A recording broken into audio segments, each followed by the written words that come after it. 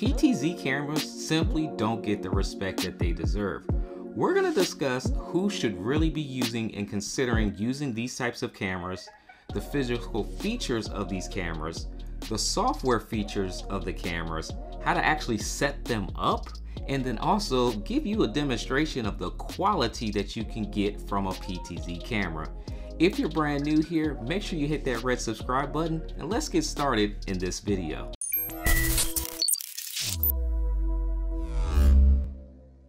So who should be considering using a PTZ type of camera? Because let's be honest, there are a lot of different cameras available in the marketplace right now. But one of the major benefits of a PTZ camera is the PTZ part, the ability to pan, tilt, and zoom. So you no longer have a stationary camera. You have a camera that can literally give you a big and wide perspective of any environment that you place it in. And so when it comes to use cases, we really want to think about who could benefit from that type of feature. And I've had a lot of experiences in a lot of different venues and setups, and what I found are that ministries, conferences, and live streamers can really benefit from this type of camera.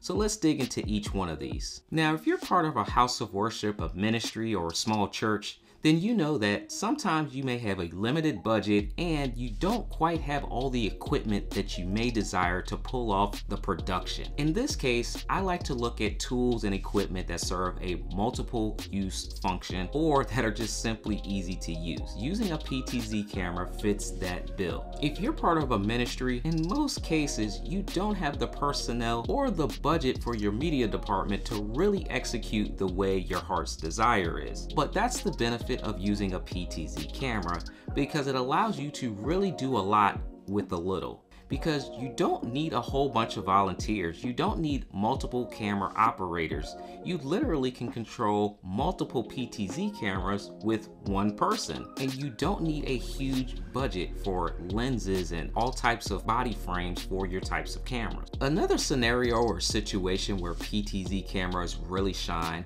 are conferences and venues. Now here on the channel, I've shown you the behind the scenes of me actually setting up PTZ cameras for sporting events and different conferences. And one of the major reasons that I love using PTZ cameras is because they're sturdy. Now, I love my mirrorless cameras. I use my mirrorless cameras here in my home office all the time. But when I'm going out in the field, I do not necessarily want to take them because they can be a little fragile and you definitely need to make sure you handle them with care. So I definitely want to make sure that I take care of them. But with my PTZ cameras, I actually feel that I can move them around and not have to handle with care all the time. Now, I don't plan on dropping a PTZ camera, but I do have more confidence in the fact that they're more sturdy and more reliable. Another benefit of using a PTZ camera is the fact that they have a tremendous zoom. Because a PTZ camera is an all-in-one camera with the body and the lens as one component, I don't have to worry about bringing extra lenses on the go.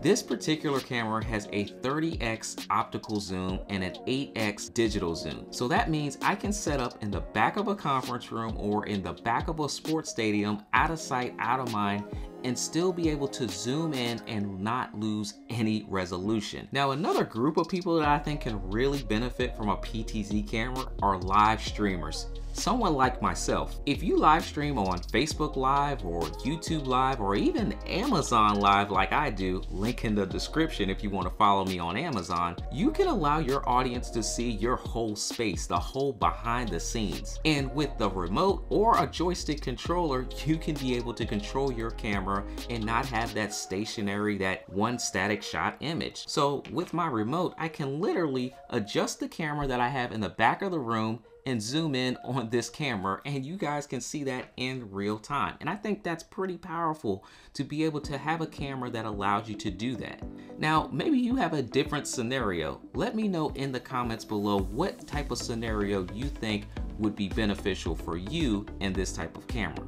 Because it is a pan, tilt, and zoom camera, you can actually control all three of those elements using three different methods. Included with the camera is a remote controller. So if you don't want to set up anything else, if you don't want any technical headaches, then you can just use the included controller and all the controls that come along with it to access the menu settings, to set up presets, and to actually move the camera. A second way that I can control this camera is by using a dedicated PTZ controller.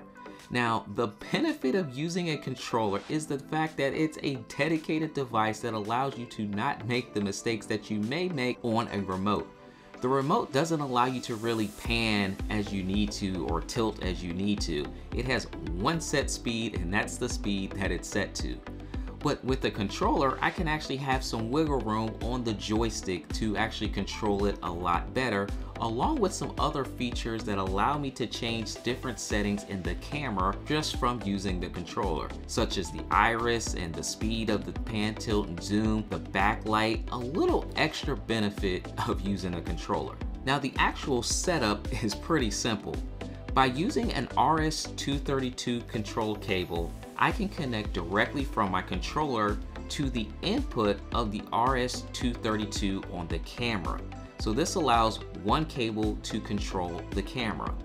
Another benefit of using an IP-based controller is the fact that I don't even need that RS-232 cable. I can simply connect both my camera and my controller to my network using their ethernet connections by inputting the IP address of my camera into the controller, I now have access to control the camera over my network. Now, a third way to even control your camera is by using the software. Now, this is not one that I particularly recommend, but I do want you to know that it's available to you because there may be a situation where you need to remote into your network or connect to your camera to adjust some settings and know that you can actually control your camera through the software. Now the same way in which you have multiple ways to control the camera, you actually have multiple ways to set up and connect the camera to your infrastructure, either by using the ethernet connection, by using the SDI connection, or the HDMI connection, you have three different ways that you can transmit your video signal. Now the Ethernet and the SDI are going to be more for your longer distance connections and the HDI can be used for your shorter distance connection. Now I've been using fiber HDMI cables which allow me to transmit data further and not lose quality. So even in that situation, I can set this camera pretty much anywhere I need to distance wise. So you have multiple ways to not only control the camera, but to set this up as well. Now it's time to get into the software of this camera. Now there are two different ways that you can go through the camera and change all the different settings. The first being the handy dandy remote.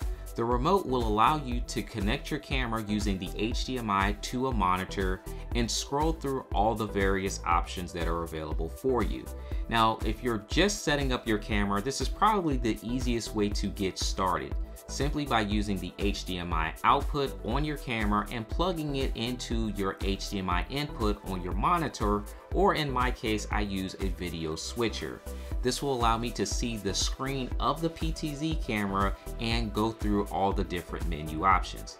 The second way that you can go through your menu and change any settings necessary is to set up your camera on your network. So plug in your ethernet cable, connect using the IP address of your camera, and then you can log in using the default credentials. Now each particular camera is different, so if you already own a PTZ camera, make sure that you reach out to the manufacturer or just do a Google search and find the IP address that's default and the admin and password access needed to remotely connect to your camera. And one of the things about these cameras is the fact that they're not the best cameras for low light, but if you adjust the settings correctly, you can definitely compensate for that. So make sure that you change the settings in a low light situation, or even if you're outdoors and it's super bright outside, know that you can change these settings in the menu functions. Now we have our Prisual 30X SDI camera all set up and using it right now. And the benefit of this camera, along with all the others that I've mentioned before, is the fact that you can power this camera over a PoE switch. So that means I'm not using the DC power. And this is very beneficial if you're in a location that doesn't have power outlets close by. So now that we have the camera set up, you guys can see that I can control this using my joystick. Panning in, panning out. And then if I need to change any of the settings, I can actually change some, like I mentioned, using the default settings available for me here. I can change the auto white balance, I can change the auto exposure, I can even go wide and tight using this controller right here, which is unique, or use the joystick, which is pretty cool as well. Now that we have the camera all set up, we're currently at its furthest distance away from me zoom wise. But by using the controller, you can see that as I zoom in, we are not losing any resolution on this camera. So you can feel confident by zooming in on your subject and being able to keep that quality image that you desire. Now I also have the software pulled up on my computer. So I'm remoted into my camera through the IP address and I can adjust the brightness levels. So I can take the brightness down if I need to, or I could take it back up. I can change the saturation levels, contrast levels, and I even have the ability to flip and invert the image. So if this particular camera was in a setting using the mount that's included and I needed to flip it upside down, I could easily do so. Now we've discussed who this camera is good for, the hardware features and components, the software features and components, and how to just set this camera up and some of the versatility that allows with the remote and the controller and the web-based application. But if you want to see how to set up multiple PTZ cameras together, make sure that you click on this next video. And if you have questions, leave those in the comment section below. See you in the next video.